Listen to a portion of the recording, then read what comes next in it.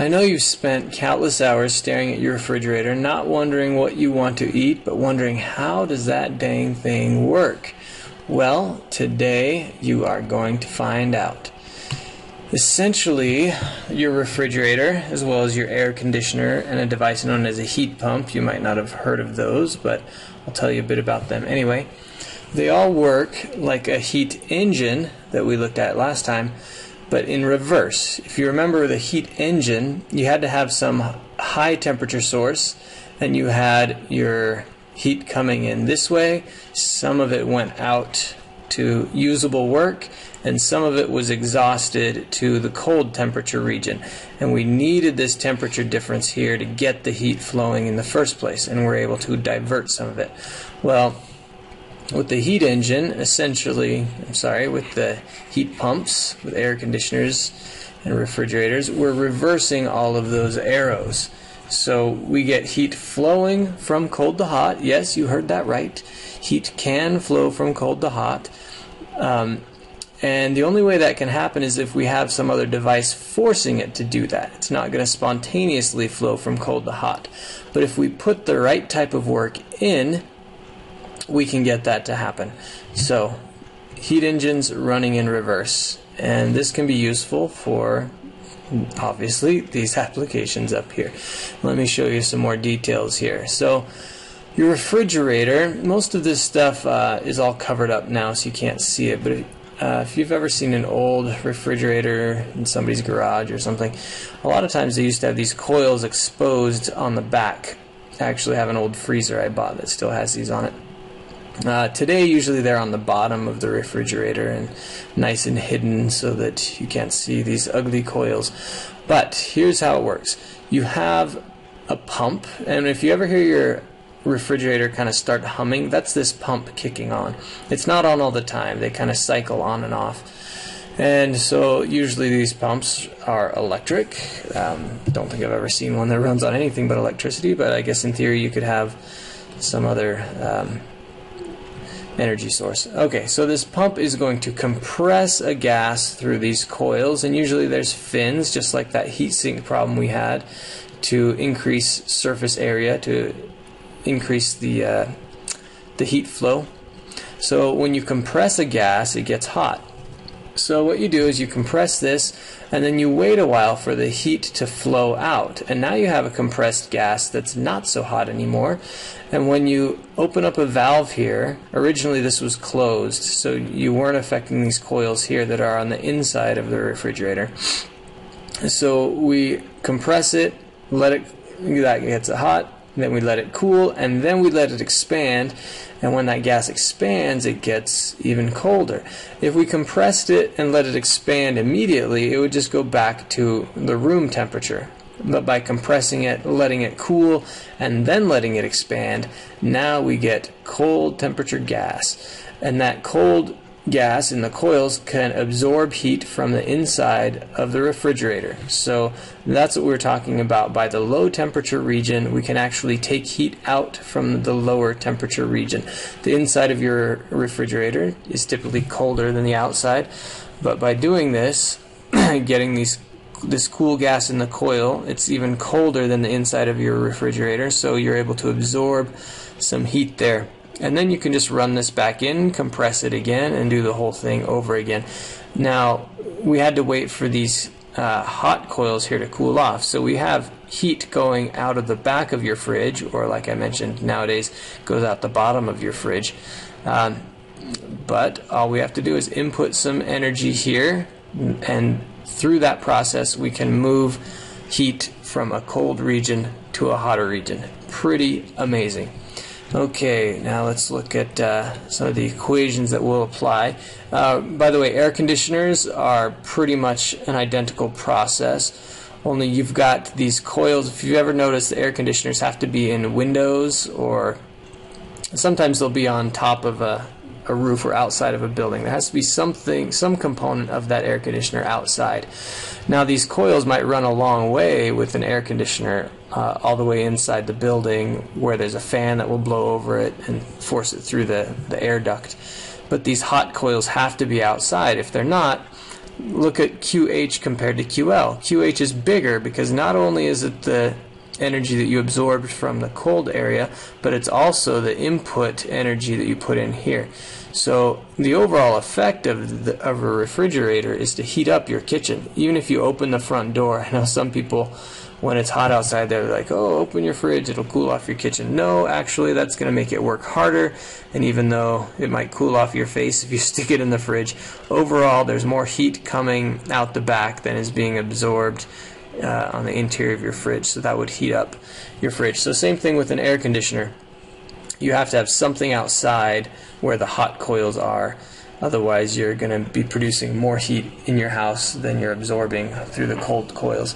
Um, in fact, I had a little story that goes along with that. When I was in high school, uh, before I studied any physics and became the physics master that I am today, uh, we were we were taking some girls to a prom, and we decided that we were going to have a little pre-prom party in a uh, a U-Haul van.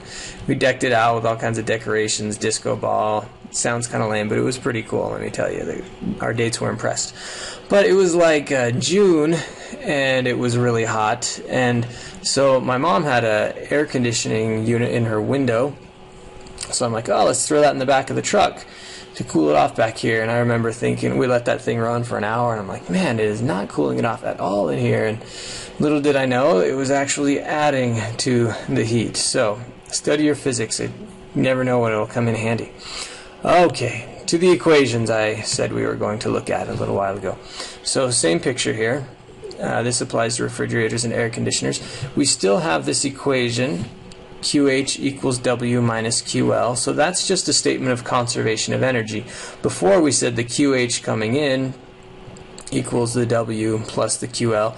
We reverse all these arrows. Essentially, we have negative signs on everything, but those can just cancel out, right? So we can, uh, miss there. We can leave our equation unchanged because it's still true. Uh, either way, the heat is flowing. You still have these two totaling that. All right, now before we define efficiency of a heat engine as the work you got out over the price you had to pay to get that workout, which was the heat flowing in. In this case, I, I mentioned earlier this was kind of benefit over cost. Well, the benefit is a little bit different for a refrigerator or an air conditioner. The benefit is how much heat you get rid of in the cold region.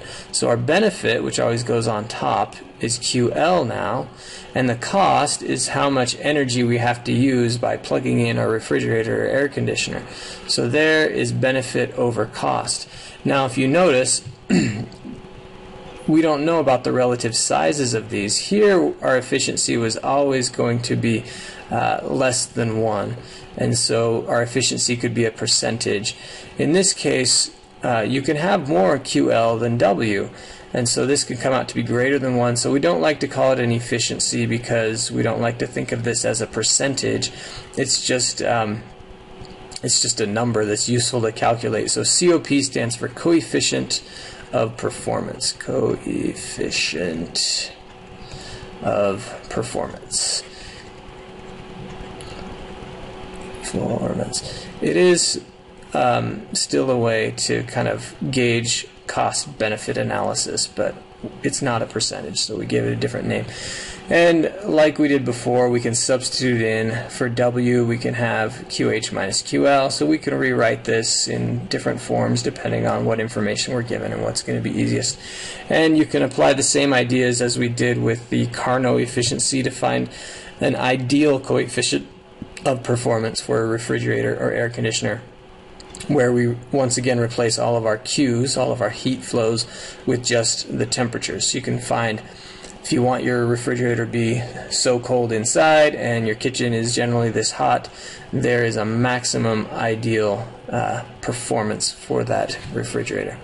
Okay, now I also mentioned that other device called a heat pump, and the way they work in the same way, but here we're going to redefine our cost benefit little equation because in this way it's like you take a refrigerator and you stick the back end where the coils are in your house and you open up the front end to the outside. And so even though it can be really cold outside, you got Frosty the Snowman over here, you can, as long as you get those coils even colder, you know, if it's zero degrees Celsius, if you get it negative 10 on your coils, you will still absorb heat from that zero degrees uh, Celsius outside. And so this is pretty awesome because you could have like a 500 watt uh, input here. That's the amount of energy you're using, and the amount of heat you will add the QL, so you could get a thousand watts or 1200 watts coming out here. Theoretically, this could happen, right? That's 500 watts, and this is going to be 700 watts. Uh, so you can get more out than what you're going to have to pay your electric bill for. And uh, so these are pretty amazing. Uh, the one kind of downside to these heat pumps is they they tend to function more slowly because you have to wait for the heat to be absorbed from the outside.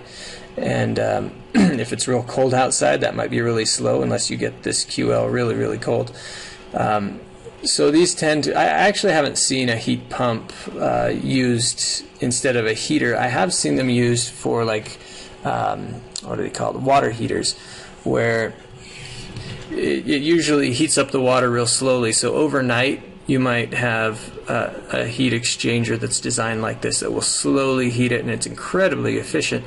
But if you've got a bunch of people showering and the dishwasher going and everything in the morning, it's not going to be able to go fast enough to keep up with that. So usually they have some kind of hybrid system where they have the old-fashioned flame torch thing to, to heat it up quickly if you need that. But then if you don't need it quickly, it uses the heat pump technology to be much more efficient. Uh, okay, so our, to our equation here the benefit we want now is not how much QL we have, even though that is good.